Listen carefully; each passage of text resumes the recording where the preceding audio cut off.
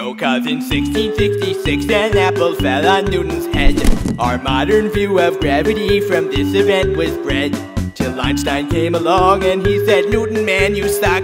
It's obvious that space-time controls gravity, you schmuck. But unification wasn't to come from relativity, and so poor Einstein spent his later years in mental misery.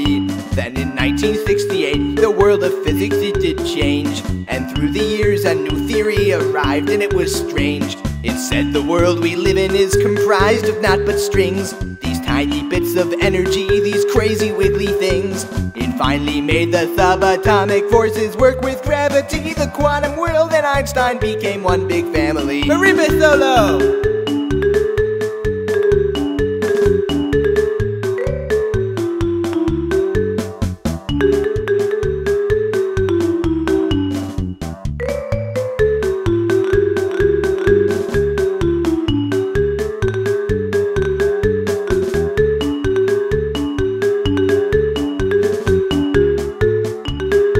Riding the Knowledge Express, man!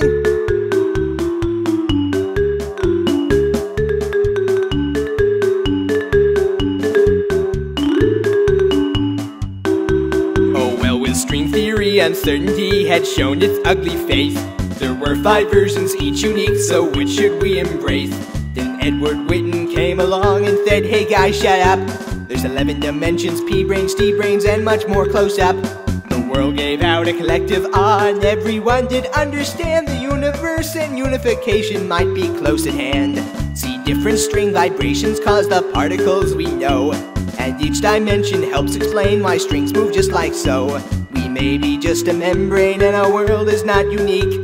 There may be many other universes, so to speak. But in this crazy string-based world, there's so much we can do. So man, you sit on back and let the supersymmetry work for you.